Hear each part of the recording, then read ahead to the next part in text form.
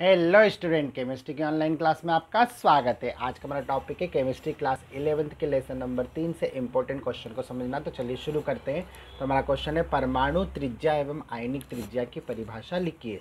अब परमाणु में क्या होता है? परमाणु में इलेक्ट्रॉन पाए जाते हैं और परमाणु में अलग अलग कोष भी होते हैं।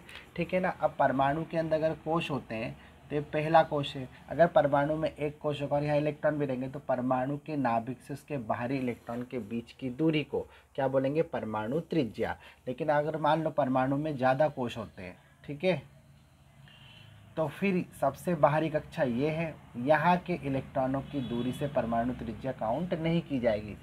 बाहरी कक्षा का जो अंतिम इलेक्ट्रॉन होता है और जो नाभिक होता है, उसके बीच की जो डिस्टेंस होती है उसी डिस्टेंस को बोलते हैं परमाणु त्रिज्या, ठीक है? तो परमाणु के केंद्र या नाभिक से उसके बाह्यतम कक्ष के इलेक्ट्रॉन के बीच की दूरी को परमाणु त्रिज्या कहते हैं और इसे एंगस्ट्रॉम में नापा जाता है। एंगस्ट्रॉम का मतलब होता है दस की घात माइनस दस मीटर में।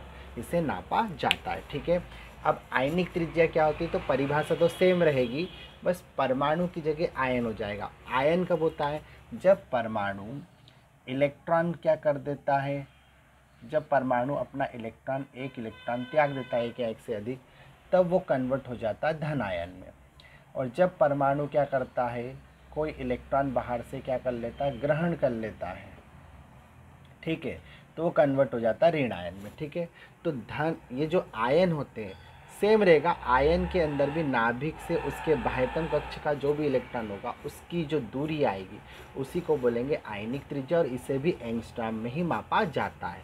और धन आयन की जो आयनिक त्रिज्या होती है, वो मूल परमाणु से कम हो जाती है, जबकि ऋणायन की आयनिक त्रिज्या मूल परमाणु से अधिक रहती है। अब इसका जो रीज़न होगा, वो हम अगले वीडियो में डिस्कस करेंगे। फ़िलहाल के लिए इतना ही। उम्मीद करते हैं आप समझ गए होंगे। अब मिलते अगले वीडियो में, अगले टॉपिक के साथ। तब तक आप पढ़ते रहिए best of luck for your exam.